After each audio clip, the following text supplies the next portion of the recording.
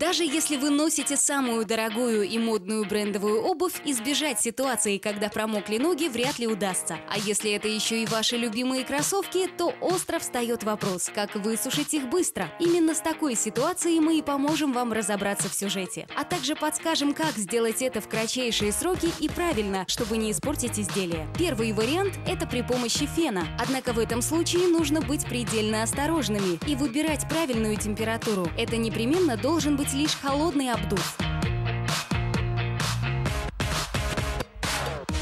Для эффективной сушки можете использовать и старые газеты. Их запихните внутрь промокшей обуви, а также оберните снаружи. Этот метод является наиболее эффективным и проверенным многими поколениями.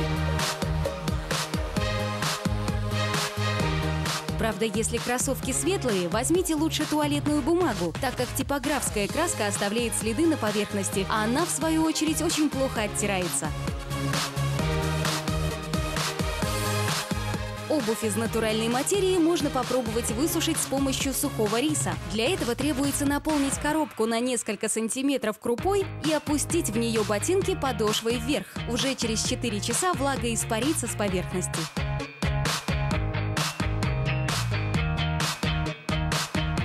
Теперь вы точно знаете, как правильно сушить кроссовки после стирки или случайного промокания. И плохая погода не застанет вас врасплох. Относитесь бережно к своим вещам, и они отблагодарят долгим сроком службы и безупречным внешним видом.